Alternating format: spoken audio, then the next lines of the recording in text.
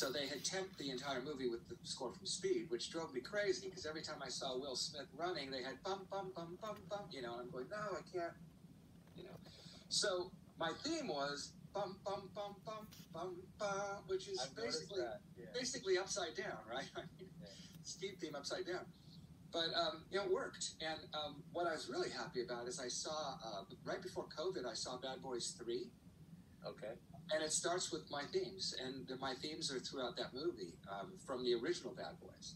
Uh, I didn't do it, but but um, it's really cool that they that Bruckheimer wanted to hold on to that as a as a signature, um, which is cool. Because as soon as you hear that, dun, dun, dun, dun, dun, dun, you know it's Bad Boys. You know, you just kind of go, oh yeah. Yeah, I'm glad you brought that up because I was going to ask you that there's very much similarities in the and- That's why. I stole from myself. That's okay. Yeah. it makes it makes, and I think a lot of composers and even filmmakers, you know, there's a lot of uniqueness in every project that we do, but also some things that just never leave us, even if we try to. It's just it just kind of embeds in, the, in us, right? Um, and when you have done the score or the first draft of the score, what's what's the process like? Does the, you sit with director like Jan de Bont or um, Michael Bay, you know, just to kind of go through it, or does he give you notes, or what's that like? Yeah, it's a, it's a, it's um, it's awful, really, because I mean, you're, you, you know, you work, uh, you, you, you, you're going to play them maybe, maybe two to three scenes that are maybe two minutes each Mm. that you've worked on for a week and a half, whatever it is. Um, and depending on who you're working with, and depending on who's involved and who has a voice, the, meeting can go great. It can go south. It, you know, uh, with Michael Bay, it would go south all the time. Um, with Jan, it was great, and Jan had some great ideas. I'll tell you one great idea Jan had. Sure. Okay, so um, the melody from Speed is in a minor key. Dee da dee da da dee da dee da da dee da da. Right. Yeah. So I did that when the when he rescues Sandy Bullock uh, out of the bus and, and on the on the little cart and they go flying. So Yeah. I went right to da, da, da, da, da, in the minor key, and I thought it was great. And Jan came in and he said, "I don't know." And I go, "What do you mean you don't know? That's the theme to our movie." And he goes, "I know, but it doesn't have uh, it doesn't have any joy. It doesn't have any release." And I was like, "No, you're crazy." And then he left, and I sat there going, "He's wrong. He's wrong." And then I went, "Wait a minute." He's right. All I have to do is put that into a major key. All I have to do is rather than play it in E minor, play it in a relative major, which is G major, keep the theme exactly the same, but play the major chords under it, which it's a whole different thing, man. And when you see that scene, it still gives me chills because it's just so right, you know, that, that we finally went into this beautiful major, like heroic part of that theme. So, Yeah. you know, sometimes, you know, you get notes and you think you guys are nuts, but then you look at it and, and they could be right. So it's a tough one. Um, and then, you know, a lot of the times it's not just the director. It might be the director and two producers and a music editor, and they all have a, an opinion. So one guy says it's too fast, it's too slow, it's too this, you know.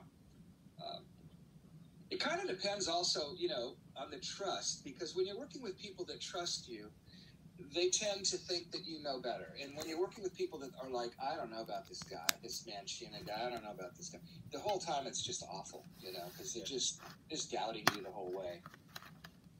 And I'm glad you mentioned that, right? Because that happens in every form of creative arts. Uh, like you, you know, even myself as a, as a as a director in documentary films, when I'm talking to potential, you know, investors or even producers or anything like that, sometimes people just give you full trust, and those are the people, at least me, I find that I want to make sure that I do justice to. Like I get more motivated. You want to do good work for them.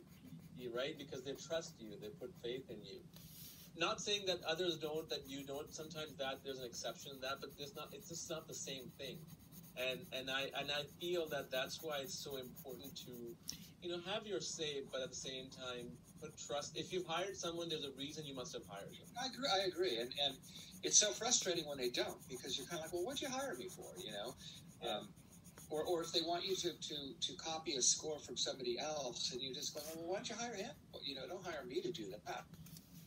Does that happen without talking about that. Um, oh, sure. Well, Michael Bay's a, pr- a prime example of that. Um, um, I just, I never could connect with him. I thought Bad Boys 1 was a killer score. Um, and I remember him saying to me, Why does everybody talk about the music for the foot chase? It's not that great. I was like, That's just not something that you would say to me. That's a weird thing to say to me. But anyway, um, there's a lot of great people out there. I've you know I've I've worked with people that are really wonderful too. Like I said with Jan, you know, give me a really great idea, um, and and let me run with it. I just did a movie with Chris Williams. I've done two movies with Chris. One with, was Moana, and then the last one was The Sea Beast. And um, really difficult stuff, but not difficult because he's difficult. Difficult because he's smart and he has a vision, and we, we try to line up, and it's hard to line up with music sometimes. Um, but it was never insulting. It was never, you know, this is garbage or anything like that. Yeah. Does it worry you if ever you did a track or a soundtrack or a theme and the director came up to you and said, okay, you know, throughout the soundtrack, okay, this is great, like not questioning you? Like, does that worry you or do you question yourself if nobody questions you? Does that ever happen? You know, I worked with. Um,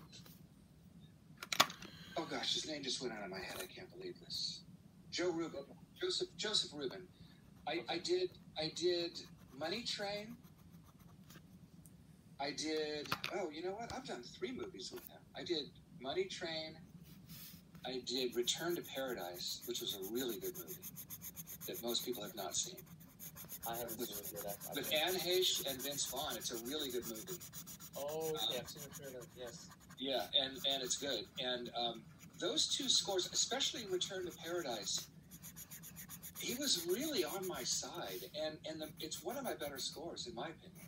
I think it's one of my strongest scores, and he, he let me go. So, uh, you know, I, I- can't say that I questioned myself. I really felt like I was doing the right thing, and now when I again when I played that movie for my daughter or my brother, and my brother's like it's one of his favorite movies of mine uh, the score really holds up. And I only had 14 people, so it was a very small budget, small um, score, but um, I think really, really cool. Um, so you know, I've I don't know what struggles the other guys go through. I, I, Alan Silvestri is a close friend of mine, and I have uh, other friends that Tom Newman I've talked to many, many times had dinner with, and uh, everybody goes through hell you know, in some way or another. And, and Tommy Newman is just such a great composer. and You would think that people would just trust him to do whatever the heck he wants because he's so good. But it's it's the same thing. It's always the same thing. It's subjective. So it's one man's opinion against another man or woman. Yeah, t- t- Thomas Newman. I mean, I listen to one of uh, the scores quite often. Road to Perdition. You know, the one